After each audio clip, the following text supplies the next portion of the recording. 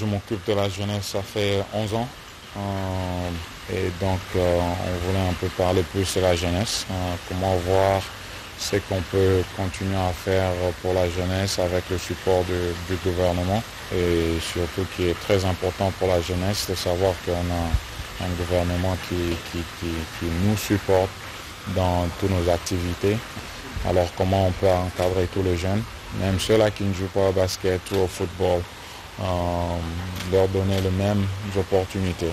C'est leur donner des raisons pour, euh, pour rester ici au pays. C'est bien que les infrastructures sont en train de se construire. Euh, il y a des salles de basket qui se construisent et tout ça. Euh, qu'est-ce qu'on peut mettre dessus qui pourra faciliter euh, l'épanouissement de la jeunesse. Le basketteur congolais Biombo a loué les efforts et le dynamisme du président de la République et son gouvernement pour l'organisation du 9e jeu de la francophonie en RDC, raison de plus de promouvoir la jeunesse par francophonie à quelques heures du lancement de 9e jeu au stade de Martyr. Le décor est déjà planté, je l'ai dit tantôt, entre affiches et fugis des athlètes. La grande mascotte souhaite le bienvenu ce mercredi. Toutes les équipes s'attellent pour le dernier réglage. Gaëtan Margalono nous en dit un peu plus dans son reportage. À l'entrée principale du stade de Martyr de la Pentecôte, la mascotte et crie à côté de l'effigie du garant de la nation souhaite déjà caribou au 9e jeu de la francophonie à Kinshasa. Sur ces 24 entrées, deux effigies, deux athlètes en mouvement annoncent l'événement tant attendu au pays de Lumumba. À côté de six hommes dont la tâche est de rendre propre ces vitres de travaux d'assainissement de mare. Râteaux, balais et même la nouvelle technologie intervient pour rendre propres ces lieux sportifs et culturels. Pour la pelouse, c'est l'arrosage pour bien l'entretenir. Debout depuis 6 heures, cette journaliste, comme tout autre, présent sur le lieu, attend son badge d'accréditation. En fait, nous sommes là pour vendre euh, une bonne image de, ce 9e jeu de la francophonie qui vient, euh, aussi comme dit le ministre de la Communication, changer le, les narratives euh, dans les pays.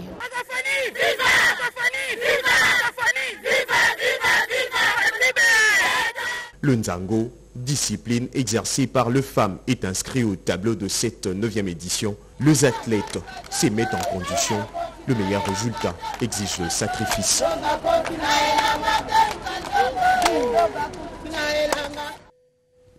Et pendant ce temps, la radio-télévision nationale congolaise entend, elle, relever le défi de la couverture médiatique du 9e jeu de la francophonie. Son conseil d'administration a fait le point de l'organisation de cette couverture. Un reportage de Jean-Pierre Ndolo Demazo.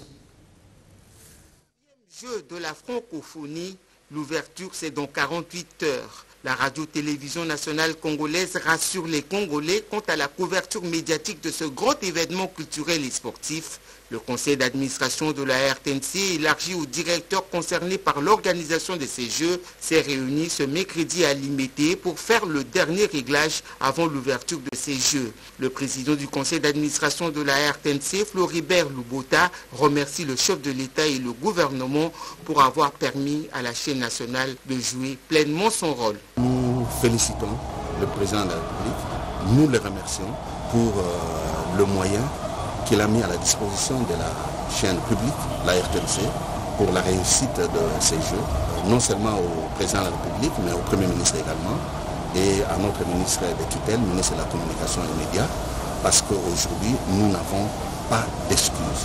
Nous avons tout ce qu'il faut pour que ces Jeux-là puissent être une réussite en République démocratique du Congo. Madame le directeur général de la RTNC, Sylvie Niembo, se dit confiante et rassure les téléspectateurs. Tout est fin prêt pour assurer une couverture médiatique qui réponde aux attentes des Congolais. Ici, c'est de rassurer la population congolaise et particulièrement celle de la diaspora qui euh, ne cesse de nous réclamer une bonne qualité euh, dans la production, la diffusion de ces 9e Jeux de la francophonie et donc, euh, en tant que RTDH, radio-télédiffuseur hôte de ces neuvième jeux, nous disons que nous sommes prêts. Nous travaillons pour leur permettre d'avoir une très bonne qualité des jeux. C'est grâce au président de la République, chef de l'État, que nous avons été dotés en matériel. Le gouvernement a porté le projet, notre ministre l'a défendu et aujourd'hui la RTNC est prête. Depuis quelques jours déjà, vous voyez une nette amélioration de la qualité de notre signal et cela va croissant. Nous avons euh, à diffuser deux signaux. Un premier signal qui sera envoyé à l'international pour toutes les chaînes partenaires qui acceptent euh, de relayer ces jeux et un second signal avec un programme qui concerne les jeux qui sera produit euh, au niveau local avec de temps en temps comme ça des insertions, des émissions, des spots qui nous rappellent les jeux et qui rentrent dans le contexte congolais. Le plat est donc prêt. La radio-télévision nationale congolaise va le servir aux Congolais qui attendent le manger avec appétit. À l'instar d'autres jeunes de la République, le sportif de la ville portuaire de Matadi, dans la province du Congo central, salue et soutiennent la tenue de 9e jeu de la francophonie dans le pays. Euh, belle manière pour ces derniers de solliciter la réhabilitation de certaines infrastructures sportives de leur cité. Pierre Saïdi.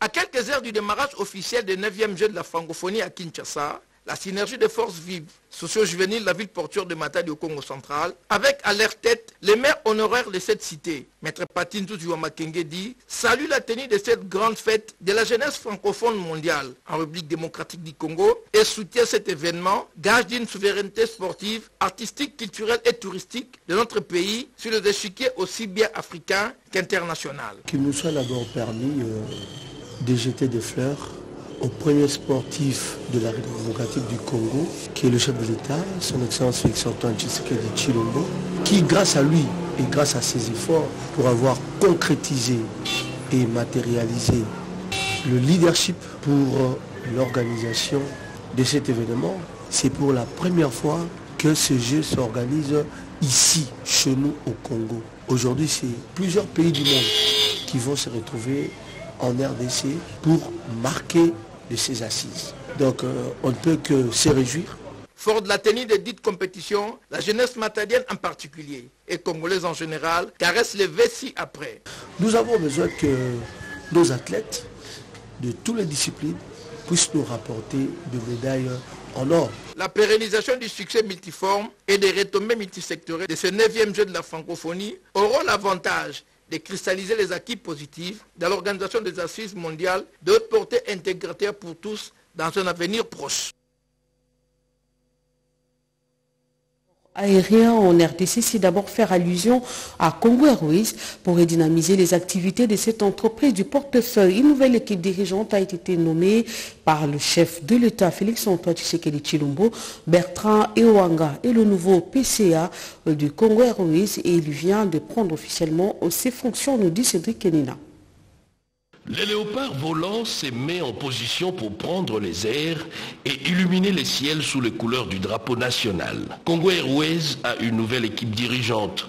Jean-Bertrand Iwanga est le nouveau président du conseil d'administration et remplace à ses postes Alphonse Chongo lecture des procès-verbaux, échange des signataires, le nouveau PCA s'est montré pragmatique pour interpeller les nouveaux dirigeants. Un état de lieu de cette entreprise est attendu dans les prochaines heures. Chers collègues administrateurs, Monsieur le DG, Madame la DGA, le chef de l'État attend de nous, pas de discours, de réalisation.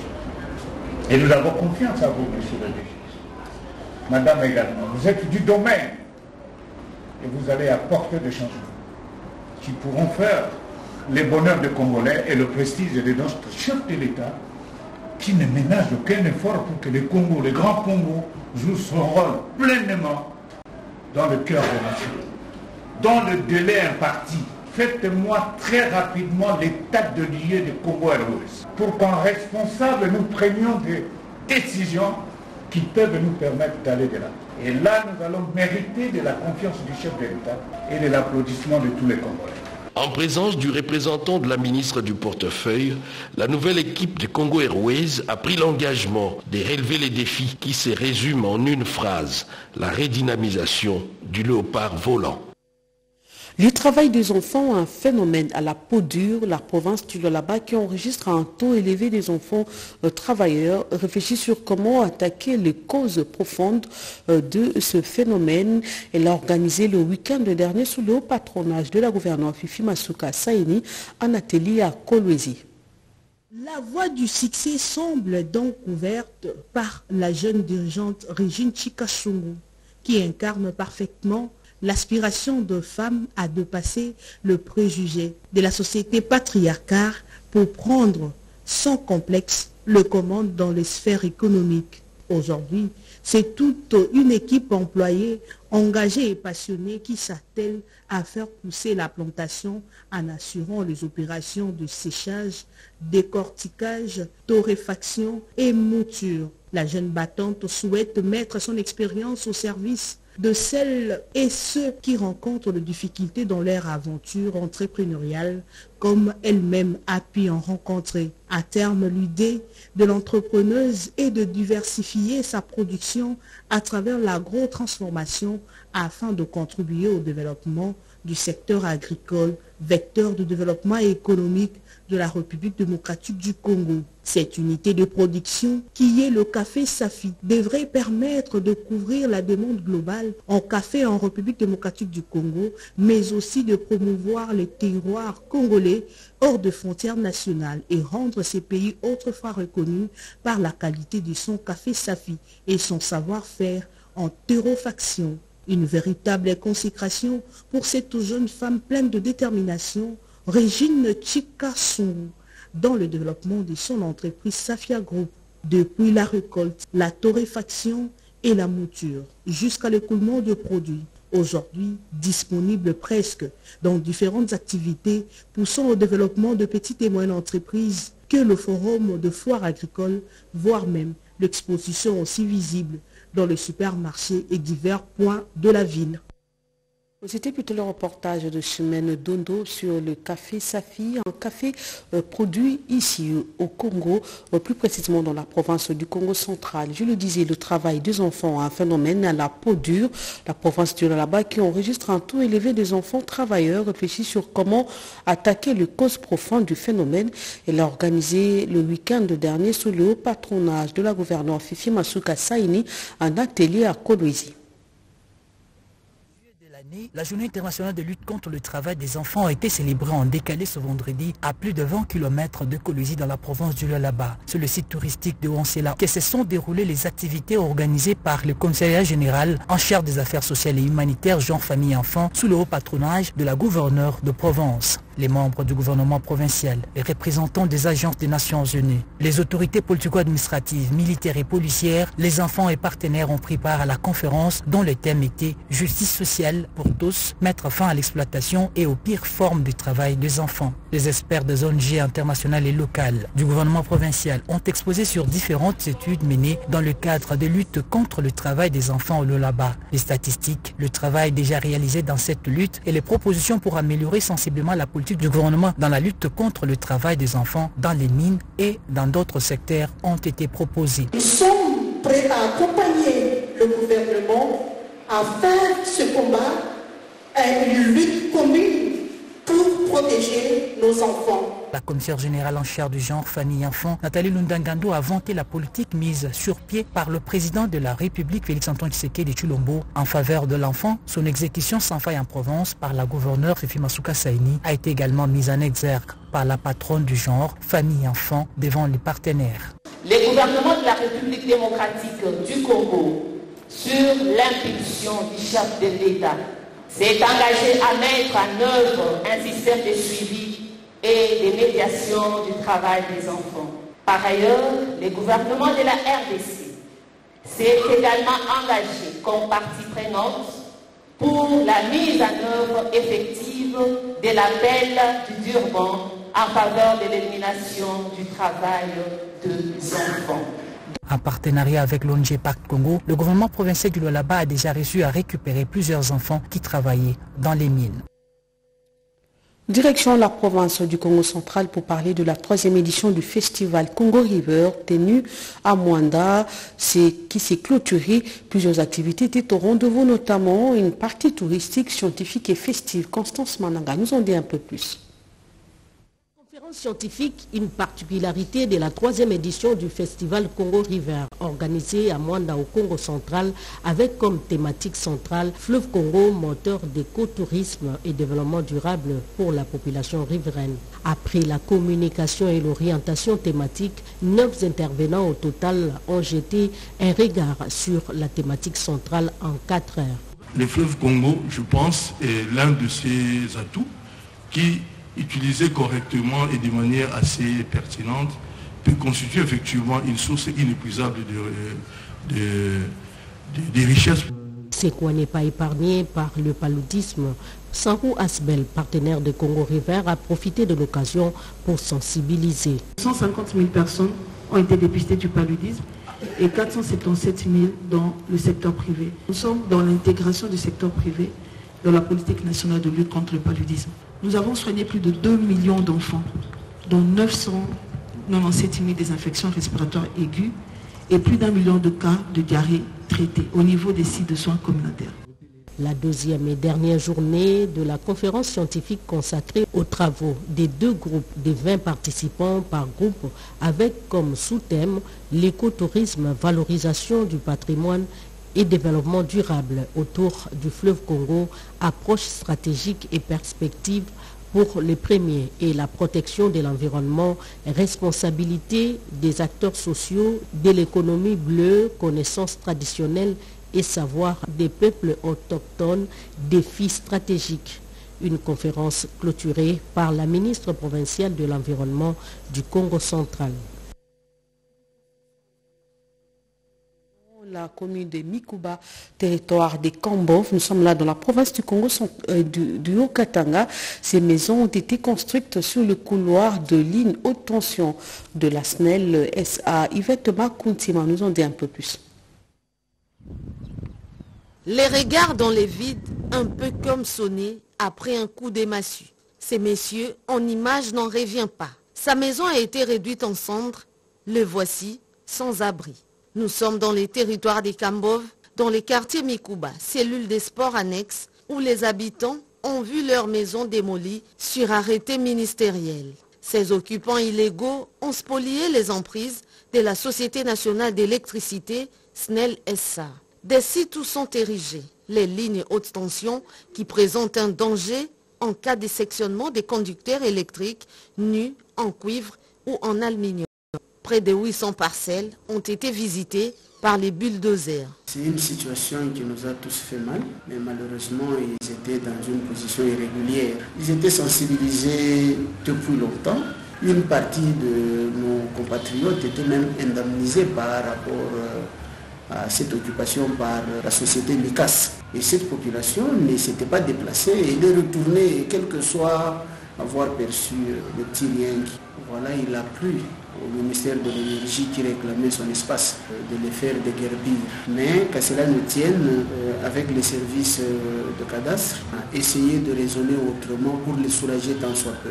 Tous ceux qui avaient perdu les parcelles sous cet aspect de démolition, ils ont même les parcelles du côté Kabuto et on est en train de lotir. Tout le monde a déjà eu une parcelle. Hein. C'est à eux d'en profiter pour essayer de valoriser ça. La loi est dure, mais elle sera appliquée dans toute sa quintessence à l'endroit des contrevenants. Et la fédération de l'UDPS Moueka a désormais un siège digne d'un parti présidentiel dans cette partie du pays.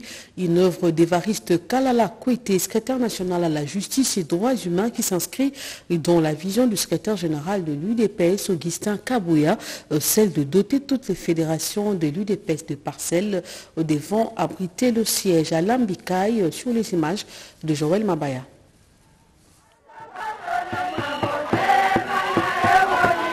Le territoire de Moueka a connu une ambiance électrique le week-end dernier. Les cadres et combattants de l'IDP de cette partie du pays étaient dans les rues pour manifester leur joie pour l'acte posé par l'un de leurs en la personne de Maître Evaris Alakwete, secrétaire national en charge de justice et droits humains en achetant une parcelle pour la fédération de l'IDPS Kassai 1. Un acte qui vient matérialiser la vision du secrétaire général Augustin Kabouya de doter toutes les fédérations des sièges. C'est sous les ovations frénétiques du public que le secrétaire national de l'IDPS, qui a accompagné son collègue Robert Bopé, a procédé à la coupure du ruban symbolique. Après la remise de ces bâtiments au président fédéral et la visite guidée, Évariste Kalalakwete a invité l'assistance à faire un bon usage de ce patrimoine du parti en tant que représentant du secrétaire général de l'UDPS ici à Moueka, je suis venu remettre cette permanence.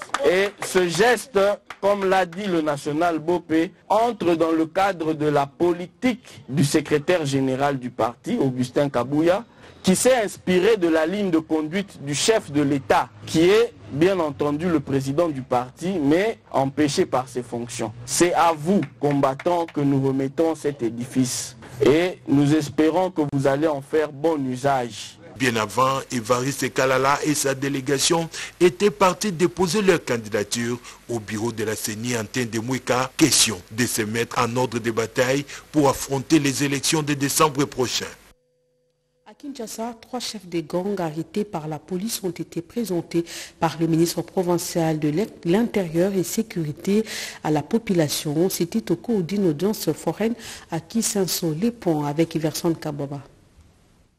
Poursuivant sa lutte contre le banditisme urbain, le ministre provincial de l'Intérieur et Sécurité, Gracien Tsakala, a répondu présent à l'audience foraine organisée dans la commune de Kisenso, au cours de laquelle trois chefs de gangs réputés dans l'extorsion et viol ont été présentés. Victimes des actes criminels perpétrés par ces hors-la-loi, les résidents de cette municipalité ont exprimé leur satisfaction vis-à-vis -vis de la sentence prononcée par le tribunal à leur encontre la tenue des audiences foraines et en procédure de flagrance serait pour certains une réponse appropriée pour dissuader tous ces délinquants, rassure Tsakala Gracien et qui promet à la population de ne ménager aucun effort pour mettre fin à ces scènes de l'incivisme faisant de la lutte contre la criminalité urbaine son cheval de bataille selon la vision du chef de l'État Félix-Antoine Tshisekedi Chilombo et les instructions reçues du gouverneur Jantiningo Bilambaka. Gratien Tsakala encourage les bourgmestres à multiplier ce type de séances pédagogiques visant à favoriser l'accès à la justice pour tous en vue de dissuader les criminels. Rappelons que dès son arrivée au ministère provincial de l'Intérieur, Graciet Takala s'est lancé dans la campagne de sensibilisation sur le civisme pour récupérer les jeunes délinquants appelés communément Kuluna et les réinsérer dans la société. De la paix, la prévention et la résolution des conflits dans les Gros Kivu, la question était au cœur des échanges lors d'une séance de travail entre le chef de confession religieuse. Reportage Serge Merlemata. La rencontre s'est déroulée dans une ambiance bon enfant. Lors des échanges, la délégation des femmes ambitieuses du Nord Kivu a saisi l'occasion pour saluer les rôles particuliers que jouent les chefs des confessions religieuses dans la construction d'une société pacifique, inclusive et la prévention des conflits. Elles ont en outre sollicité de la plateforme des confessions religieuses l'accompagnement à travers les différentes communautés religieuses, notamment par la sensibilisation à la citoyenneté, à l'éducation et à la paix. Parce qu'il est de la haine, le tribalisme, les mésententes inutiles et l'État qui est tout un chacun de nous apporte sa pierre, que la paix revienne chez nous en RDC et particulièrement dans l'est du Nord Kivu. Les chefs des confessions religieuses ont rappelé à toutes ces femmes qu'elles ont également un rôle prépondérant à jouer dans le processus de rétablissement de la paix dans cette partie du territoire national. C'est un acte interpellateur, je dirais, de la part de ces femmes qui se constituent en synergie des femmes de toutes les tendances et là pour converger dans un seul sens, de pouvoir promouvoir la personne de la femme. Nous apprécions sa juste valeur leur démarche et nous leur garantissons un accompagnement sérieux et sincère. Cette délégation, composée essentiellement des femmes candidates aux élections de décembre 2023, venues de Butembo, Lubero, Béniville et territoire, mène un plaidoyer auprès des chefs religieux pour la paix dans les Grands Kivu. Terminé. Merci à vous de votre attention soutenue. Restez branchés sur le programme de la radio-télévision nationale congolaise. Au revoir.